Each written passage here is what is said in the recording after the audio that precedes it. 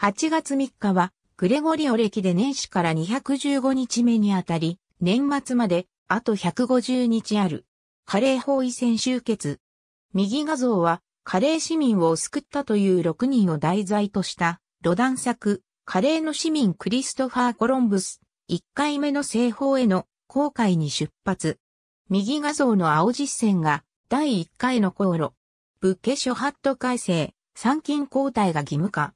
スカラ座の新劇場落成ユングフラウ発、東頂アルプス山脈を縦断するグロースグロックナー、ホッホアルペン街道開通クロアチア紛争、嵐作戦始まる。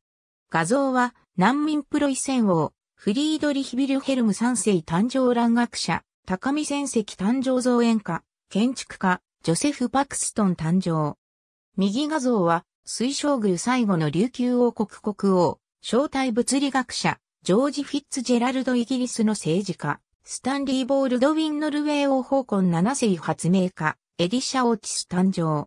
エレベーターの落下防止装置を発明し、実用家チュニジア初代大統領、ハビーブ・ブルギーバ、建築家、フランチェスコ・ボロミーニ・ボツ。右画像は、サンカルロ・アレ・クワッドロ・フォンターネ聖堂建築家、シャルル・ガルニエ・ボツ。